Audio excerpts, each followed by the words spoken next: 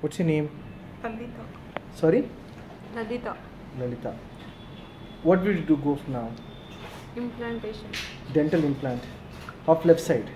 This is after immediately placing an implant. Am I right? Yes. Do you have any discomfort or pain, anything else? No. You're okay? Uh, was there any bleeding? No. Okay. And after how many years did you go with an uh, implant now? Two years. So you have been eating from two years from one side. Yeah. So at last you have decided to go for an implant. Huh. So do you advise for other patients to go for an implant Yes. for missing teeth? Huh. Are you happy with our treatment? Yes. Thank you.